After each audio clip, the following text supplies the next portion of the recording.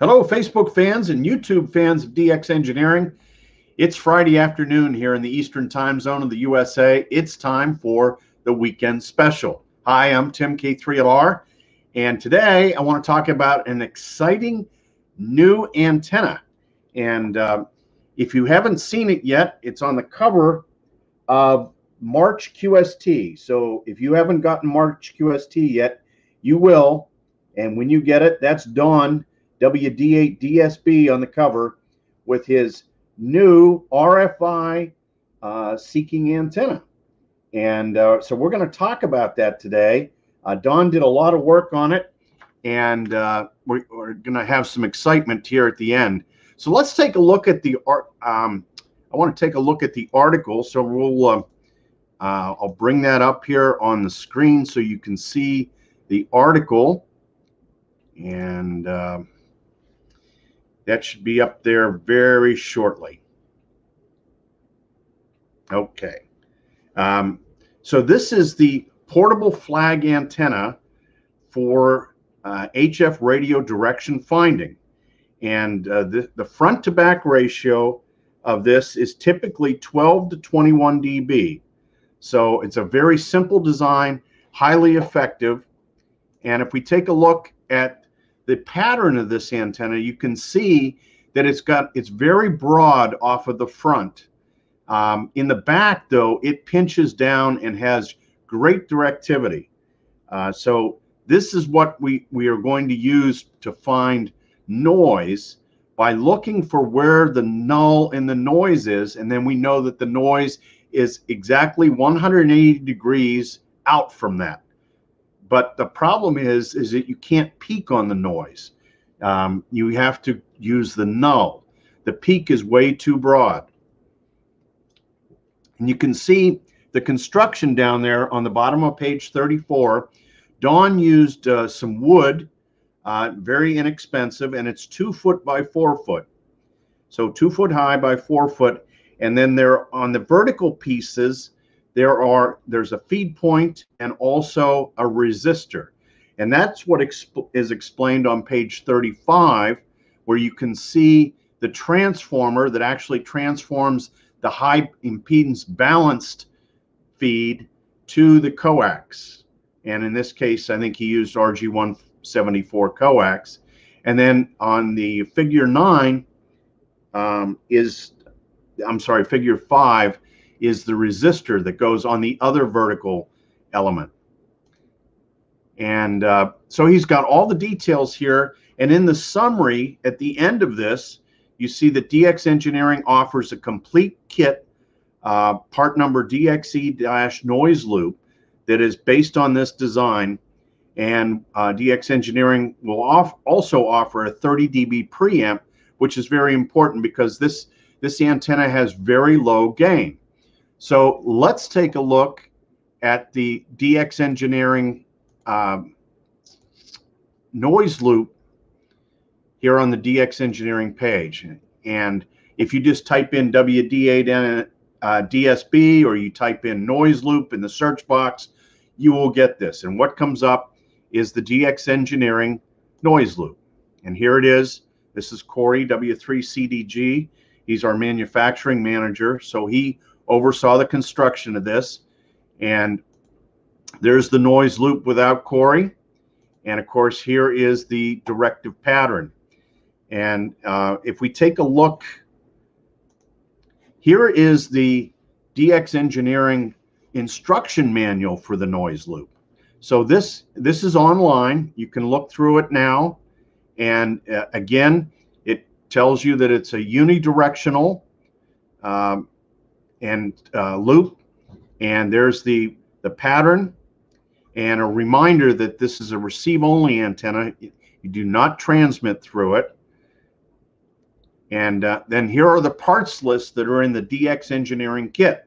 So there are clamps and clips and uh, the insulated loop wire and the coax with a BNC connector and uh, printed circuit boards and the materials to build the transformer. So the first thing you do after you check in all the parts is you go on to build the transformer. And it's very easy to do. uh, with your green wire that is the uh, secondary, and the red wire is the primary. And so all these parts are included in the DX Engineering Noise Loop Kit. And it, it walks you through step by step of how to make this transformer. And then you can see here the printed circuit board for the transformer and going to the feed line.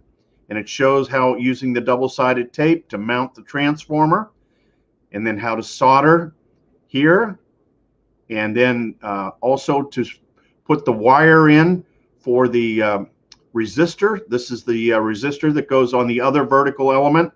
Here are the spreaders. Instead of using um, wood, uh, we used fiberglass, small fiberglass. And so uh, by using this piece of starboard, the fiberglass is the X to support the two foot by four foot loop.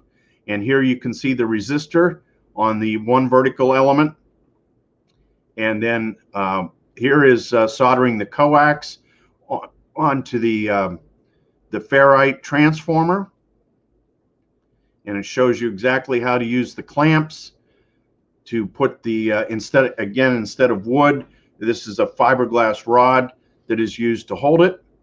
And then how you route the coax and we include the uh, tie wraps that you need. And then very important at the end to use a um, a RigExpert or some other suitable antenna analyzer and check to make sure that the SWR is about 1.1 at uh, at the top, about one at 160 meters, and then at the, highest frequency, about 30 megahertz, it's two to one.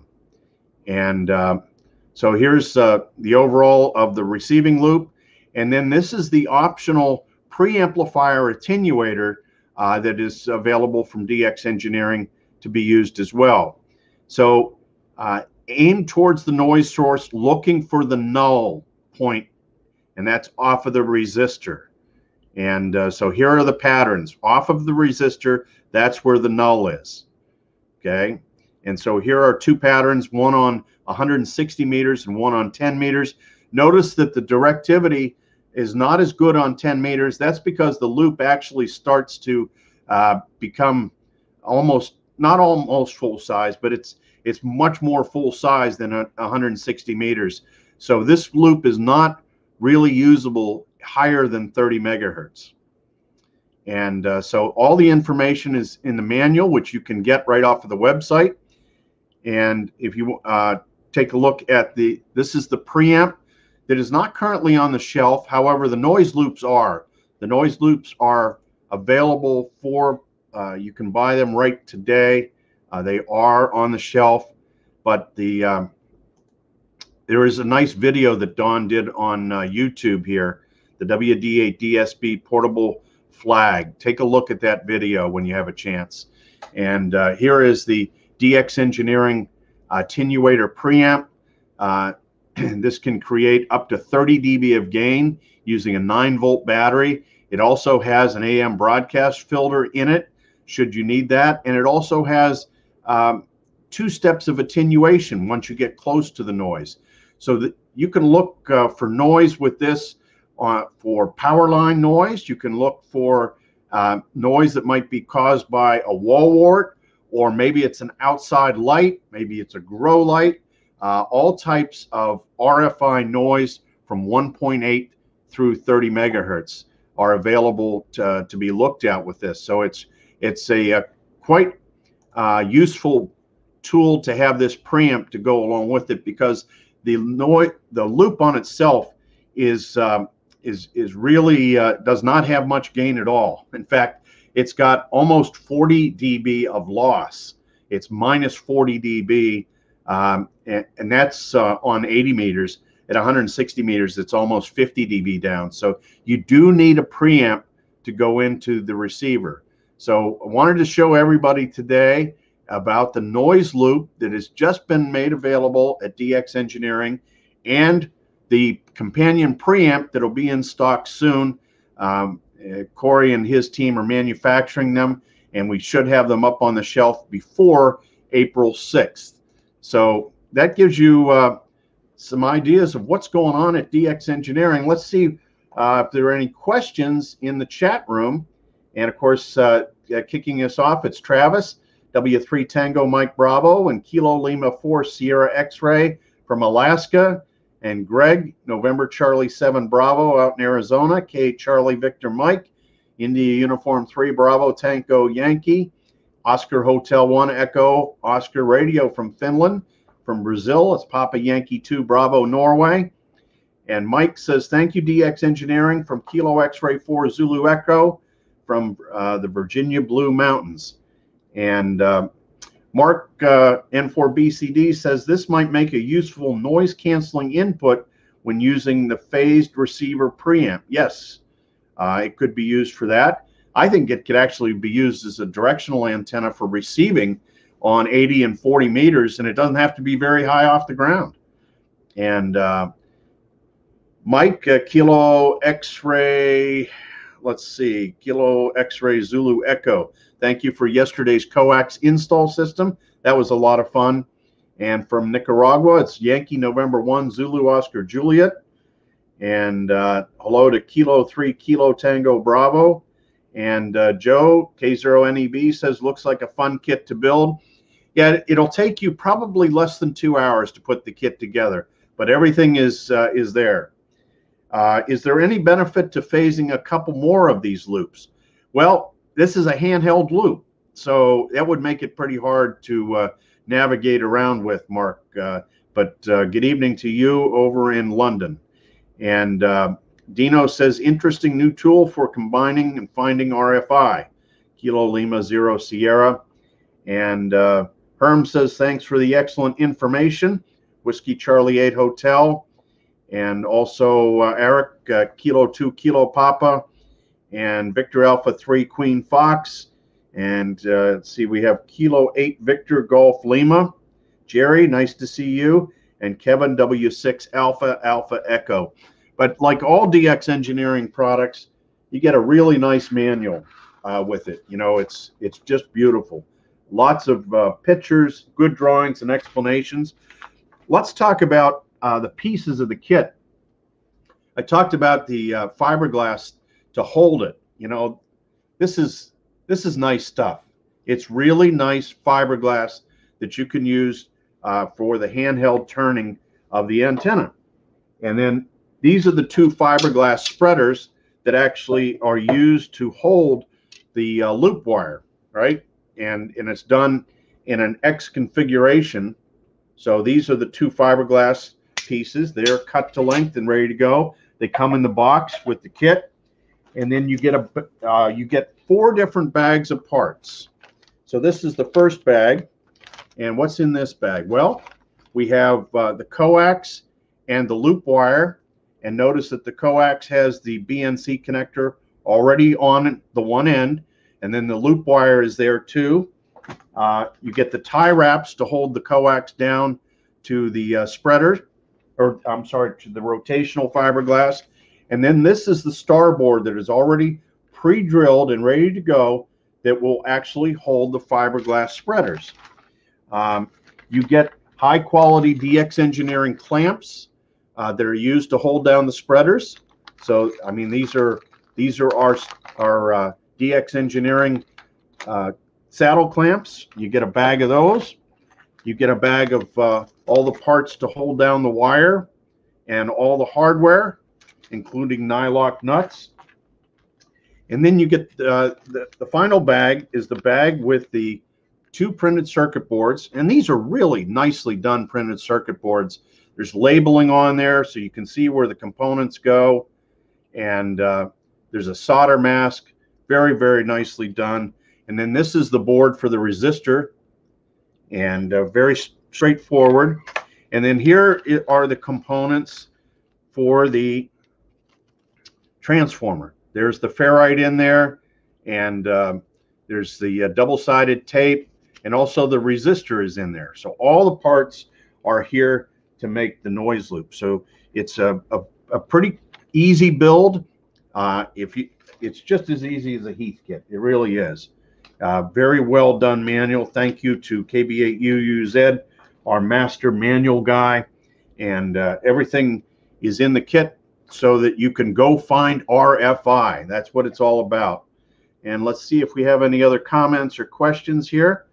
And um, let's see, Kevin, Kilo 3 Kilo Tango Bravo says he's on the DX Engineering site now ordering a battery and have a mug and a sweatshirt in the cart too. So good deal. Um, that sweatshirt, man, I'll tell you, it's going to be handy this week. It's going to be cold here. Uh, Ed, uh, Kilo Mike 6, Uniform Tango Charlie, and Brian, Kilo 7, Kilo X Ray. And uh, Joe, yes, you should write about this kit. I think uh, I think you would really like it. This is uh, this is a really nice uh, kit. It's right up your alley, Joe K0NEB, and uh, we think that this is going to be a great product for people that are having noise trouble and want to find out where it is. And this handheld directional antenna the WD8 DSB put in the March QST, which is, if you haven't received it yet, you will. And of course, the digital version is on the ARRL.org website. So if you are uh, an ARRL member, you can go read the article right now. And uh, like I said, Don's article that's in there uses wood. And the, the DX engineering version of this has uh, all fiberglass. It's all fiberglass. So it's lightweight and strong and durable. And it's not, as Don says, it's not so big that you can't put it in the back of the car. You know, when you're out trying to find out where the noise is coming from. And noise is a, uh, is a terrible problem uh, for almost every amateur radio operator I know. And, and uh, so this is one more tool in the tool bag of finding RFI noise. And of course, you hook this, you could hook it up to an IC 705. You can hook this up to, um, I have a, a small R1 uh, scanner from ICOM that I use for noise finding. And so that BNC connector mates right to it. And uh, we're off and going. So this weekend, I'll be putting together uh, the noise loop here. And uh, I've got a few noises that we found last weekend during the 160 meter contest. So I got to get busy and uh, find them. So if, if you have any other questions, uh, we can take those now. If not, take a look at the website and take a look at this. I mean, it's a great value. It's less than $120. And uh, by the time you would cut all the pieces and get all the clamps and do everything, uh, you might be able to save a few bucks here or there. But the, the printed circuit boards, you know, they're very nice. And it just makes it so easy to put this noise loop together and get it going. And we walk you through how to build the transformer. And of course, uh, use uh, Don's article as well. It's very well written. Don is a, is a great engineer. He has uh, produced uh, a lot of things that have helped others find RF noise. So, um, and then stay tuned for the uh, for the preamp uh, because that's going to be a great piece to have in the toolbox too. And uh, John says there's no greater vexation to a ham spirit than S9 plus 10 dB unidentified RFI. And uh, nice to see you, Dr. John KB3H. And uh, so Joe, K0NEB, he likes the double-sided uh, pre-tin board, very high quality board. And uh, it just, it makes it easy to assemble and it's going to be reliable um, there's going to be, uh, you know, you're going to have good connections, and I think you're going to have a lot of fun with it. And I actually think that uh, you could use it as a directional antenna for, uh, you know, put it on the noise in the null, and you would be able to hear more signals on the low frequency bands uh, because it does have directivity. I could see guys putting it on a rotor, even ground mounted, or even up maybe eight or 10 feet.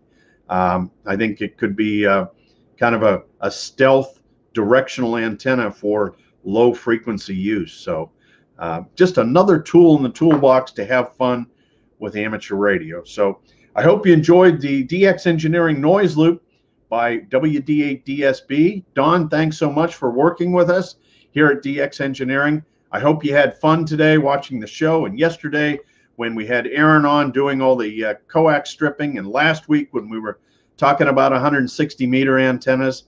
That's what this hobby is all about having fun. And here at DX Engineering, we want to help you have as much fun as you want to have. So stay in touch, get on the air, and I hope to see you next time for Tuesdays with Tim and Jeff, Tuesday afternoon, 1:15 Eastern Time. See you then in 73 from K3LR.